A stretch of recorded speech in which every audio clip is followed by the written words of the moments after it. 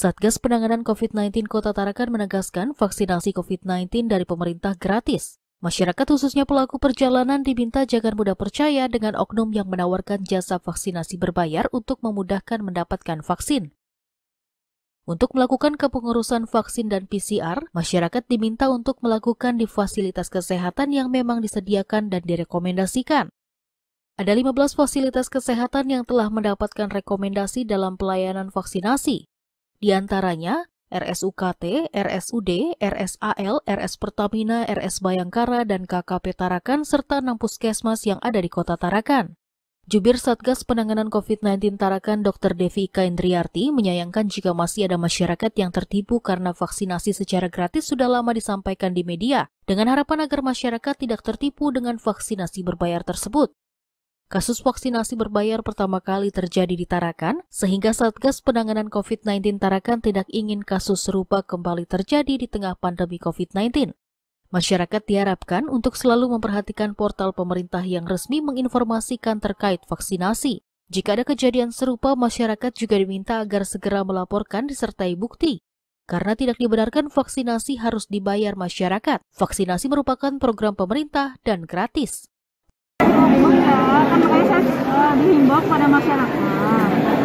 Kalau untuk uh, eh, PCR vaksin itu fasilitas pelayanan kesehatan yang memang uh, disediakan. Memang sudah uh, memang ada di fasilitas kesehatan yang ada memang sudah misalnya sudah direkomendasikan PCR-nya kalau vaksinnya yang memang sudah disediakan vaskes yang menyediakan dan vaksin itu tidak berbayar seperti itu kalau masalah tiket atau segala macam kami memang sudah ini karena kami kan memang vaksin ini bukan untuk tujuannya berangkat atau apa pokoknya yang disediakan ya sesuai dengan alokasinya vaksinnya kalau misalnya alokasinya untuk apa? Tadi nakes pelayan publik masyarakat.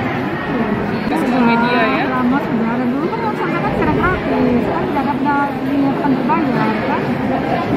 Masalahnya di, di media kan juga sudah banyak diinformasikan bahwa tidak berbayar gitu kan? Kan sangat disayangkan sekali kalau sampai ada yang tertipu padahal udah jelas nih. Kan kami nggak bisa cegah.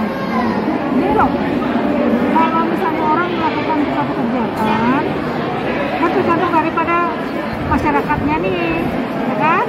Sudah diinformasikan sudah diberi diinfokan seperti ini bahwa vaksin itu tidak berbayar kemudian mereka mau melakukan pembayaran berarti kan mereka yang tertipu jangan mudah tertipu oleh ini oknum-oknum yang tidak bertanggung jawab gitu. Kan memang sudah jelas bahwa itu tidak berbayar jangan lagi bilang bahwa itu berbayar gitu siapa yang memberikan vaksin itu kan jelas dari mana fasilitas pelayanan kesehatannya mana.